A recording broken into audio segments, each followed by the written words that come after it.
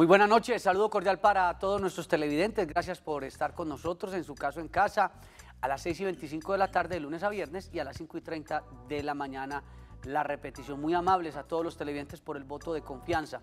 Soy Juan Carlos Hurtado Ochoa, director y presentador de este espacio de servicio, de información. Aquí todos, todos construimos el conocimiento, con los invitados, con las preguntas de ustedes. Entre todos construimos el conocimiento.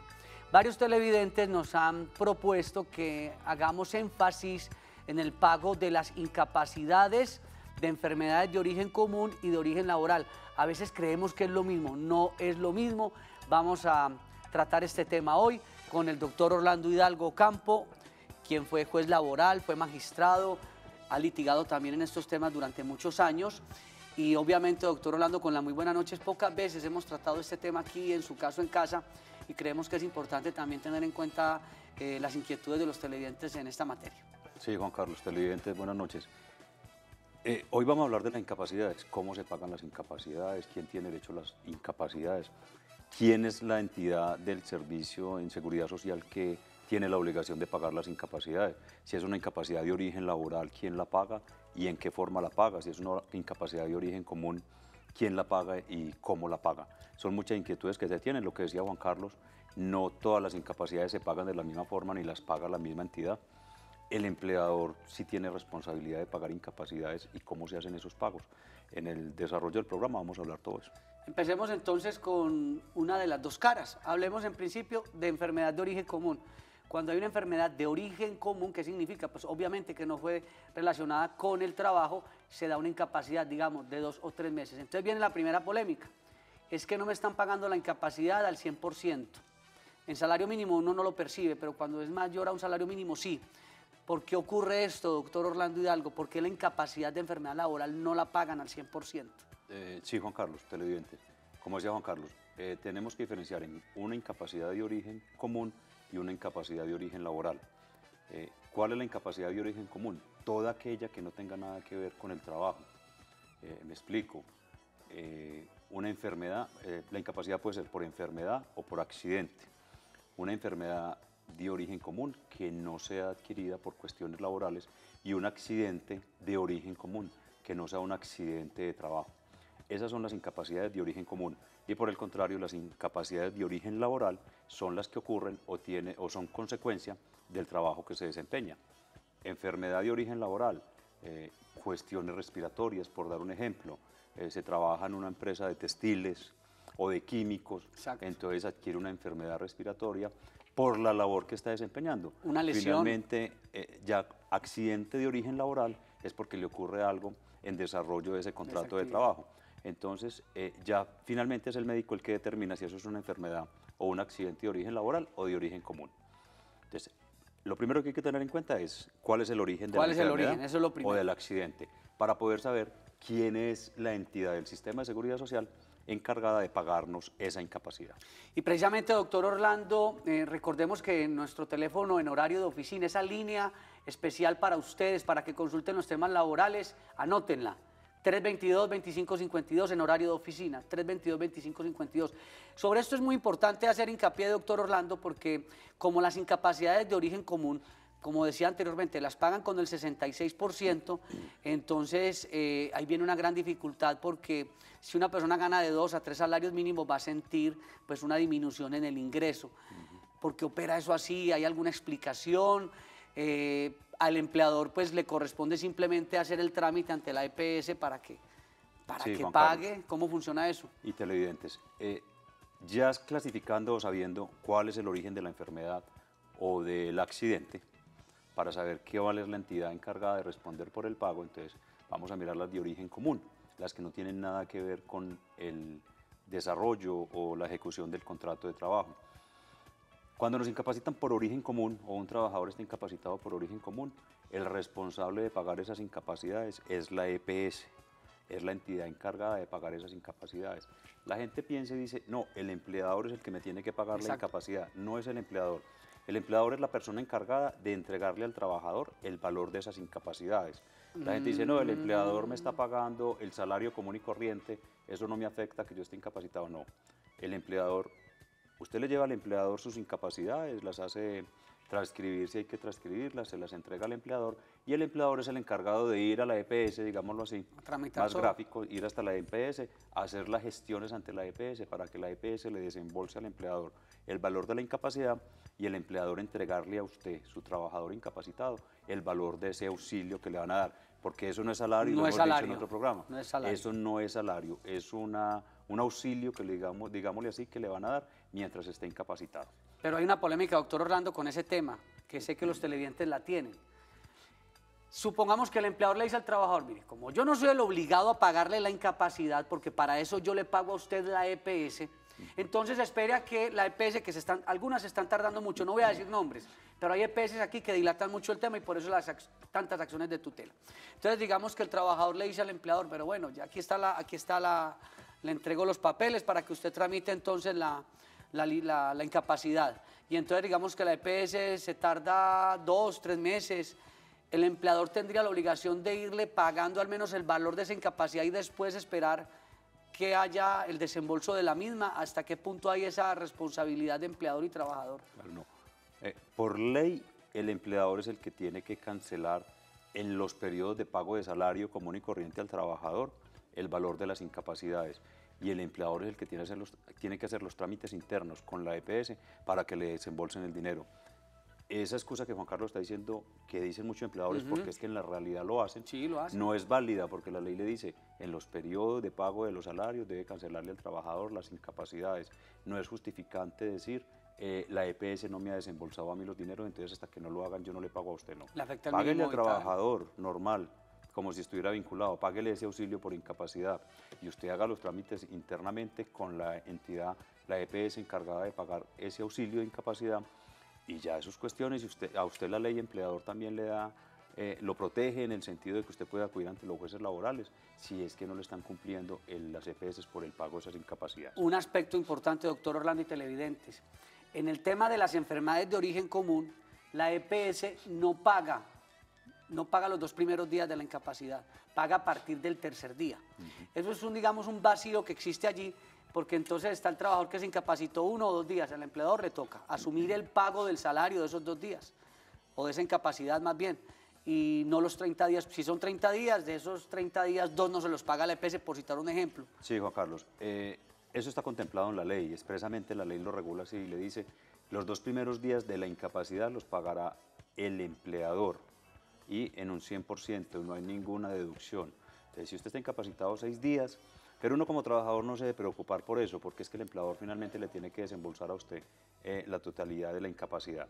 Pero la ley dice, esos dos primeros días y en un 100% se los va a pagar el empleador. Del tercer día en adelante, eh, pagará la EPS o responderá económicamente por esa prestación o ese auxilio la EPS. ¿En qué porcentaje se le van a pagar al trabajador que esté incapacitado esas incapacidades? Como ya veníamos diciendo, los dos primeros días los paga el empleador en un 100% de lo que estaba recibiendo como salario. Sí. Del tercer día al día 90 lo va a pagar la EPS, pero ya no le va a pagar el 100%, le va a pagar el 66.66% de, de sus ingresos, sin que nunca el trabajador pueda recibir como ingresos menos del salario mínimo. A partir del día 91 no le van a pagar ya el 66.66%, sino que le van a pagar el 50% del valor de sus ingresos o de sus salarios. Como decía Juan Carlos al inicio, eh, esto afecta o va a haber afectado sus ingresos la persona o el trabajador que esté incapacitado y tenga unos ingresos por salarios superiores a un salario mínimo, porque ya no va a recibir esos tres salarios mínimos, dos salarios mínimos y medio, cuatro salarios, sino que va a recibir un 66.66% por los primeros 90 días y a partir del día 91 solamente va a recibir el 50%. Ojo, sin que nunca esa disminución llegue a ser inferior al salario mínimo. Recuerden esta línea muy importante en horario de oficina, anótela. 322-2552 para solucionar sus problemas en materia de derecho laboral y de la seguridad social. 322-2552. Ya enseguida vamos a pasar al tema de las incapacidades de origen laboral. Ya abordamos las de origen común, las enfermedades de origen común. Cristina de Envigado, muy buenas noches. Buenas noches. Mi pregunta es que cuando es una enfermedad laboral, ¿quién la paga y cómo? Perfecto, nos da pie entonces, muchas gracias Cristina, nos da pie para, para abordar entonces el tema de la enfermedad laboral, porque aquí en un programa hablábamos, doctor Orlando, que cuando el empleador afilia al trabajador, si ese trabajador ese mismo día tiene un accidente, no lo cubre sino a partir del siguiente día. O sea, lo afilia hoy, pero la cobertura empieza al siguiente día. ¿Cómo opera entonces ya el pago de las incapacidades de riesgos laborales? ¿Qué se le sugiere a todos los empleadores, a todas las entidades o empresas que asesoramos y que todo abogado debe recomendarle a, a la empresa que asesore? Hombre, su trabajador antes de que empiece a laborar, desde el día antes, hágale la afiliación a todo el sistema de seguridad social. ¿Cuál es todo el sistema de seguridad social? Salud, pensiones y riesgos, especialmente a riesgos laborales, que las administradoras de riesgos laborales son las encargadas de cubrir todas las contingencias de origen laboral. ¿Por qué lo afilio desde el día antes a riesgos laborales? Porque el sistema de riesgos laborales cubre el trabajador a partir del día siguiente al de la afiliación. Si yo lo afilio hoy y el trabajador empieza a laborar mañana a las 8 de la mañana, ya con haber radicado la documentación de la afiliación hoy, a partir de mañana le cubre cualquier contingencia que le ocurra. Pero si esperamos a que el trabajador llegue a laborar mañana para mandarlo a él mismo o ah, mandar el mensajero a llevar toda la documentación de la afiliación, puede que en el transcurso de la oficina a la entidad administradora de riesgos laborales a radicar la documentación le ocurra un accidente o antes de salir de la oficina sentado conociendo la planta o los compañeros le cae una lámpara en la cabeza, eso es un accidente de trabajo y no lo cubre el sistema porque todavía no lo hemos afiliado. Entonces por eso se aconseja que desde el día antes se haga la afiliación para que lo cubra desde el día siguiente. Los accidentes de origen laboral los cubre la administradora de riesgos laborales desde el día siguiente. Entonces veníamos hablando de las incapacidades de origen común, ya hicimos un, un esbozo de lo que son estas incapacidades. Ahora las incapacidades de origen laboral, que antes se llamaban de origen profesional. Sí, y ahora ARP llamaban, la ARP. ARL, Administradora de Riesgos Laborales. Las incapacidades de origen laboral son las que ocurren en desarrollo del contrato de trabajo, ya sea accidente de trabajo o enfermedad laboral, como veníamos diciendo. ¿Quién cubre esta este auxilio, ¿quién da este auxilio de incapacidad por origen laboral? Las administradoras de riesgos laborales, que son todas las encargadas de pagar las prestaciones por riesgos laborales. ¿En qué porcentaje lo cubre? En un 100% de lo que está recibiendo el trabajador. Ahí sí no le rebajan a un 66% o a un 50%, sino que le pagan en su totalidad y en su totalidad lo paga la ARL, el empleador no paga nada. Por eso, por lo que menciona el doctor Orlando Hidalgo, cuando haya un accidente, es muy importante que haya el reporte de accidente de trabajo, no se deje confundir, no ve, vamos a reportarlo como una enfermedad de origen común porque ahí viene el detenimiento en la parte del recurso, 66% por un lado, origen común, 100% paga la ARL, entonces es muy importante que si el accidente es laboral, usted no admita que le cambien el argumento frente a esa circunstancia. Vamos a ir a una corta pausa y ya regresamos.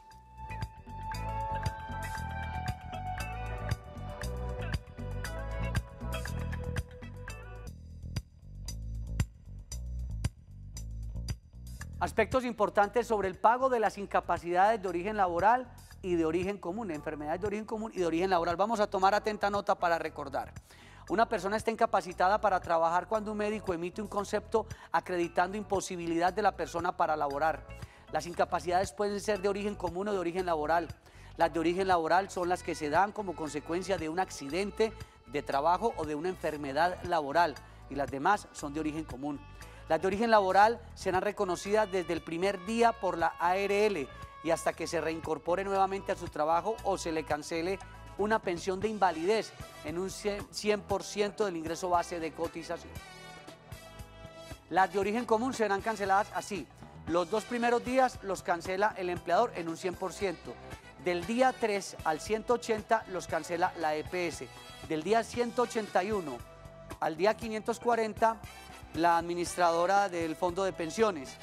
Y del día 541 en adelante la EPS, de hecho, esta circunstancia la, ya la reglamentó la ley estatutaria en salud para que no haya dilaciones cuando la EPS dice, no, es que yo no le voy a volver a pagar incapacidades porque eso le tocaba al fondo de pensiones y ya el fondo pagó. No, vuelve a la EPS a retomar ese tema, doctor Orlando, que es bien importante hacer hincapié en eso, que quedaban en el aire los trabajadores cuando era de origen laboral o también de origen común, quedaban como en el aire después del, día 541 en el aire para el pago de incapacidades. Porque la, ley expresamente no contemplaba quién era obligado a pagar y se, se, vino manejando por jurisprudencia que era la EPS la que tenía que responder por esas incapacidades, pero ya se reglamentó para evitar precisamente que estuvieran chutándose en la pelotica entre las entidades del sistema de seguridad social y quién va a pagar. Y finalmente el que estaba perjudicado era el trabajador, viéndose perjudicado en sus ingresos.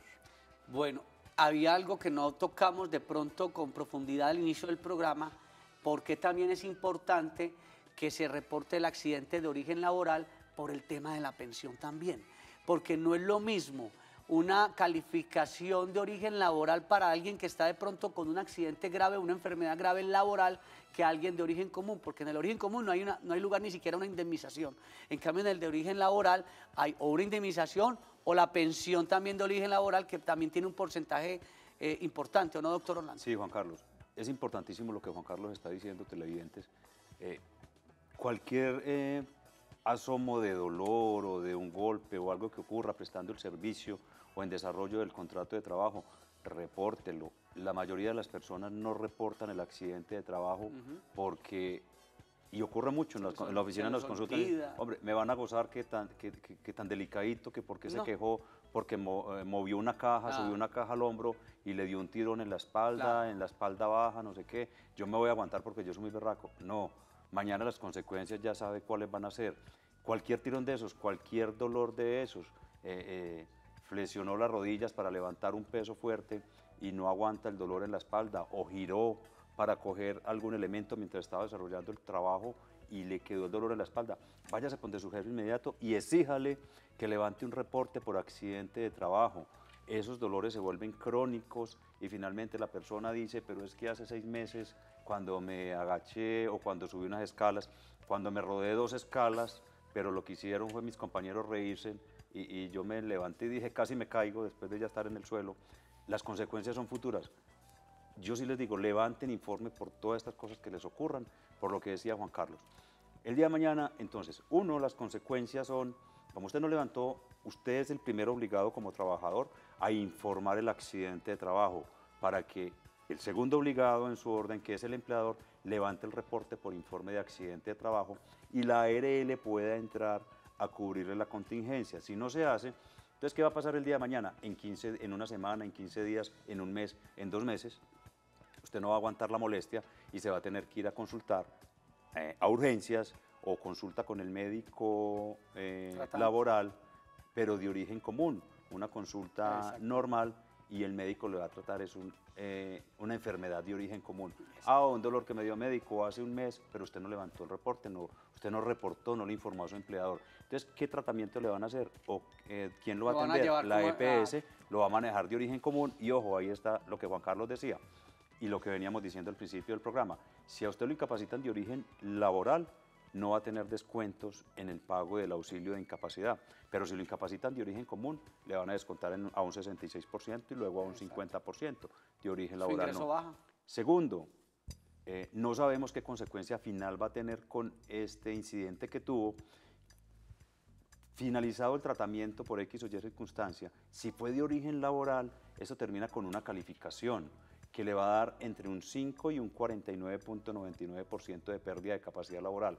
En ese rango no alcanza a pedir pensión por invalidez, porque recordemos que es el 50% o más de pérdida de capacidad laboral para que nos clasifiquen como inválidos y poder pedir una pensión de invalidez. Pero entre un 5% y un 49%, si es de origen laboral, esa pérdida de capacidad le van a dar una indemnización sustitutiva de esa pensión. Ese porcentaje se lo van a convertir en una indemnización, en salarios. Entonces, miren la importancia que tiene reportar todo incidente que ocurra, por delicado que sea o por no delicado que sea, hay que hacer el reporte, porque no sabemos la consecuencia que tiene en un futuro.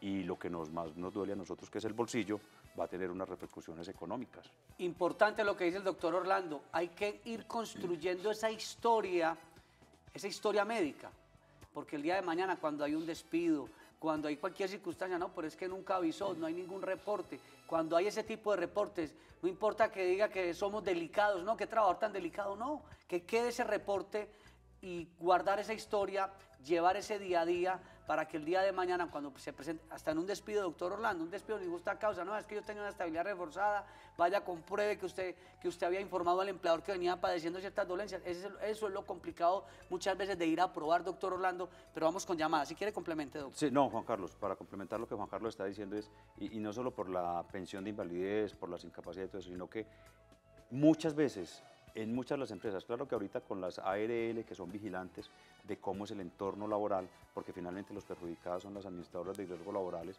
porque son las que tienen que pagar todo lo que le ocurra a los trabajadores, van a tener la carga prestacional eh, en ese sentido. Pero hay muchas empresas que no tienen estos cuidados y que la mayoría de estos incidentes ocurren por culpa del empleador. Entonces, esta, esta historia de ir armando esa historia, como dice Juan Carlos, es importantísima para el día de mañana que se nos ocurra decir, venga, pero es que yo tengo esta enfermedad de origen laboral o este accidente me ocurrió por culpa de la empresa, porque es que la empresa teníamos que bajar diariamente una cantidad de escalones que no tenían unos eh, antideslizantes, por decir algo, no tenía un pasamano, eh, era una, un lugar frío o húmedo y, es, y no había forma de, estar el, piso seco y se podía resbalar uno fácilmente. Entonces, todo eso hay que irlo guardando en la historia, como Juan Carlos dice, porque si el día de mañana vamos a reclamar una culpa del empleador ah. en ese incidente, tenemos que tener una prueba muy buena porque es al trabajador al que le toca probar la culpa de ese empleador en el incidente que le ocurrió. Y no hay que criticar a los jueces y los magistrados, los jueces y los magistrados trabajan con las pruebas que llevemos. Si las pruebas no son suficientes, pues el juez tiene que entrar a fallar y a dirimir con base en las pruebas que lleve la persona que está demandando, así de sencillo. Fernando, gracias por esperarnos, muy buenas noches. ¿Cuál es su aporte o su inquietud hasta ahora? Fernanda. Fernanda, ah, bueno, Fernanda. Muy buenas noches, doctor Juan Carlos. Primero que todo, quiero felicitarlo por tan magnífico programa. Eh, a veces cuando tengo una inquietud que no puedo verme el programa, pues me voy al canal de YouTube que ustedes tienen allá, eh, todos los programas, y ahí se me resuelve la inquietud. Pero esta vez quiero preguntarle al abogado en qué casos puedo acudir a la acción de tutela para pago de incapacidades. Muchas gracias a, Fernanda. A Fernanda. Mire, doctor Orlando, la acción de tutela, ¿qué pasa si el empleador, el empleador quiere pagarle al empleado? Pero entonces al empleador tampoco le pagan la, incapacidad porque la EPS se demora determinado tiempo, entonces el empleador paga, termina pagando la seguridad social del empleado, termina pagándole también la prestación al empleado y termina sin recibir el recurso y entonces viene la acción de tutela. Para la televidente y todos los televidentes y frente a lo que Juan Carlos está mencionando en este momento es ¿En qué casos o cuándo puedo acudir yo a la acción de tutela para obligar a que me paguen mis incapacidades? Inmediatamente le dejen de pagar las incapacidades, acuda ante el juez de tutela porque es que ahí le están vulnerando a usted como trabajador incapacitado muchos derechos fundamentales. Eh, el salario, una vida digna, muchos derechos de su entorno familiar o de su grupo familiar lo que decíamos al principio, el empleador es el directo responsable de cancelarle ese auxilio por incapacidad a los trabajadores y son cuestiones internas entre el empleador y la entidad que tiene que responder por la prestación económica, en la que no deben meter al trabajador si no hay un pago oportuno. Por eso les decía al principio, el empleador tiene las herramientas que la ley le da para que vaya y le cobre a través de los jueces, si es necesario, a ese a esa entidad del Servicio de Seguridad Social que, es, que no está siendo oportuna en el pago de incapacidades, pero no perjudique al trabajador. Entonces la respuesta es inmediatamente no le paguen su, incapacidad, haga el cobro a través de una acción de tutela. Y si es el empleador el que está juicioso con los pagos, no es que la acción de tutela sea contra el empleador, sino en este caso contra la EPS, porque también hay que hacerle honor a, a los empleadores que son juiciosos en el pago. Ya se nos acabó el programa, doctor Orlando. Sí, Juan Carlos, para complementar, pero si el empleador está juicioso en el pago, no hay vulneración con el trabajador, entonces no va a poner acción de tutela. No, porque el trabajador puede poner la acción de tutela en solidaridad con el empleador para que al empleador le paguen esas, le paguen esas incapacidades también. Es que tiene que haber de pronto alguna forma una solidaridad. Y usted ríe, doctor Orlando, pero es, una situación. Póngase en el lugar del empleador, que también es complicada la situación. Eh, anoten la línea 322-2552 para que nos llamen horario de oficina. Gracias al doctor Orlando Hidalgo Campo. Estuvo con ustedes también Juan Carlos Hurtado Ochoa en la dirección y presentación de este espacio informativo. No se vayan porque ya viene la emisión central de Teleantioquia Noticias, porque Teleantioquia te ven grande.